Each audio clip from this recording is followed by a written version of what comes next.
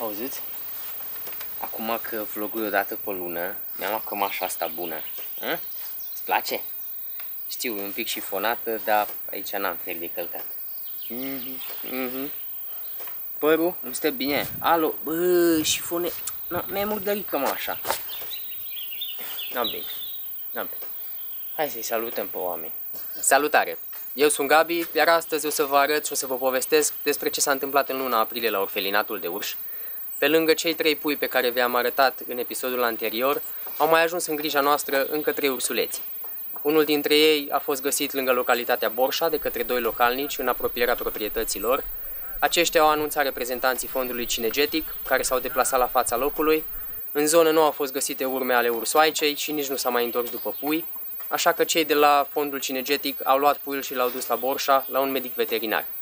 Medicul veterinar a hrănit puiul și l-a ținut sub supraveghere timp de o zi, după care am fost anunțați și l-am transportat la orfelinatul de uș. Un alt pui a fost găsit lângă Josenii Bârgăului, în județul Bistrița Năsăud. Un localnic a găsit în grădina lui puiul cocoțat într-un pom fructifer. A anunțat paznicul de vânătoare care era plecat în teren, iar paznicul de vânătoare a sunat un vânător ca să meargă la fața locului să vadă dacă într-adevăr este un pui de urs. După ce a avut confirmarea, paznicul de vânătoare a anunțat garda forestieră. Cei de la garda forestieră au recomandat ca puiul să fie eliberat în teren. Paznicul de vânătoare știa că în zonă sunt foarte mulți câini de la stânele din apropiere, Asta și cred cei de la Ocolo Silvic că puiul a fost separat de mamă de către câinii de la stânele din apropiere, iar ursoaica nu s-a mai întors după pui. Era foarte riscant ca puiul să fie eliberat acolo. Probabil câinii din zonă l-ar fi găsit și l-ar fi omorât, așa că vânătorul a luat puiul acasă, într-o cușcă pentru câini, l-a hrănit timp de o zi, iar noi am fost anunțați, iar a doua zi am mers după puiș și l-am transportat la orfelinatul de uș. Ultimul pui a ajuns la noi din județul Bacău, un reprezentant al direcției Silvice Bacău a găsit puiul într-un pârâu plutind, nu erau urme ale ursoaicei în zonă, a așteptat câteva ore ca să vadă dacă ursoaica se întoarce. Aceasta nu s-a mai întors după pui, așa că puiul a fost transportat la orfelinatul de uș. Toți cei șase pui sunt sănătoși, sunt foarte pofticioși, iar acum se află în căsuța bârlog. Îi hrănim de 3 ori pe zi cu o formulă de lapte. Mănâncă cam 5 litri de formulă de lapte la o masă, cât timp mănâncă, trebuie să stea lângă pui, pentru că trei dintre ei sunt mai mari, iar trei dintre ei sunt mai mici. Puii mari nu prea lasă pe ăștia mici să mănânce, așa că trebuie să-i separăm și să stăm acolo să fim siguri că fiecare pui își ia porția ca să crească sănătoși și puternici. Timp de câteva zile, pui au stat închiși în căsuța bârlog ca să se împretenească, ca să formeze un grup închegat cât timp puii au stat închiși, noi ne-am ocupat de mentenanță și de reparații. Am pregătit primul țarc, am reparat gardurile electrice care au fost avariate peste iarnă. Practic am pregătit terenul pentru ca puii să poată să exploreze primul țarc, să înceapă să-și dezvolte abilitățile născute.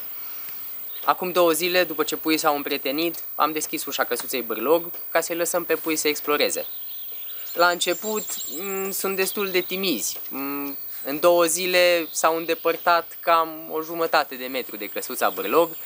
Unii dintre ei și-au dus jucării în căsuță. A fost foarte interesant să-i observ și să văd ce diferențe mari sunt între pui.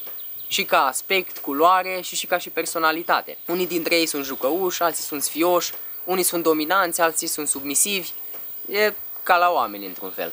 Când avem un nou pui care tocmai s-a integrat în grupul de ursuleți și deschidem ușa căsuței bârlog, noi stăm în țarc cu puii la o distanță considerabilă până când puii se acomodează cu gardurile electrice. Iar după două-trei zile aceștia învață să evite gardurile electrice până la sfârșitul procesului de reabilitare. Cam asta s-a întâmplat în luna aprilie la orfelinatul de urș. Pe această cale vreau să le mulțumesc tuturor oamenilor care au fost implicați în salvarea puiilor de anul acesta și în special donatorilor care susțin acest proiect.